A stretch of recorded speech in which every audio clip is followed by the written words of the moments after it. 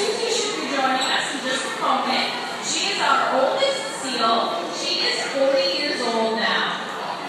And we're pretty excited about that. We think she is the third oldest seal in the country right now in a zoo or an aquarium. Pretty impressive. Normally seals in the wild only live to be about 20. And she should be coming up right now. There's Susie. Hi, Susie. And Allie, who do you have over there? Right now I have just Miss Ariel. She's down here in the rock. She's our youngest harbor seal. She's 23. And then I'm missing two of my ladies. Holly usually sits about here, and Tilly sits right over here, and they're both in their mid-20s.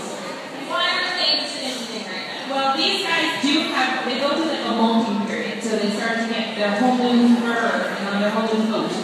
And so when they do that, sometimes they lose their appetite